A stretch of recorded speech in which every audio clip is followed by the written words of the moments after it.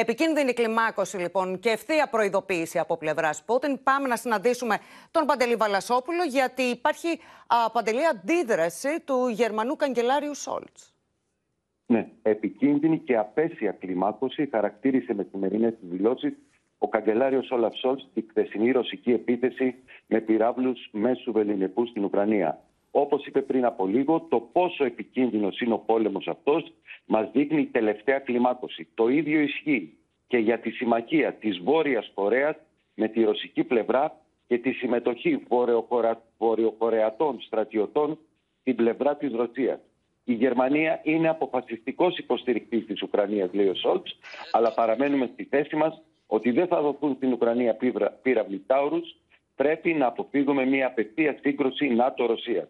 Να σημειωθεί πως προχθές η Γερμανία ανακοίνωσε μεγάλη στρατιωτική βοήθεια προς την Ουκρανία, κάνοντας τη Γερμανία τη δεύτερη μεγαλύτερη χώρα σε υποστήριξη της Ουκρανίας μετά τις Ηνωμένες Πολιτείες.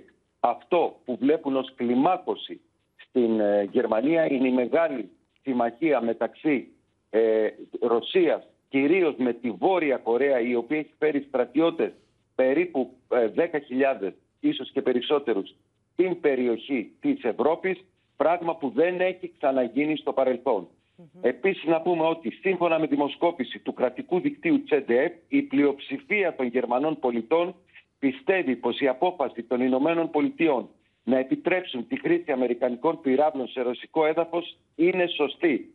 Συγκεκριμένα, η δημοσκόπηση αυτή δείχνει ότι το 55% των πολιτών στη Γερμανία θεωρούν σωστή την ε, κίνηση Biden, το 37% λέει πως είναι λανθασμένη. Επίσης, τέλος, το 71% σε αυτή τη δημοσκόπηση εαμφιβάλλει εάν ο Τόναλτ Τραμπ μπορεί να κάνει κάτι για να φέρει την ειρήνη.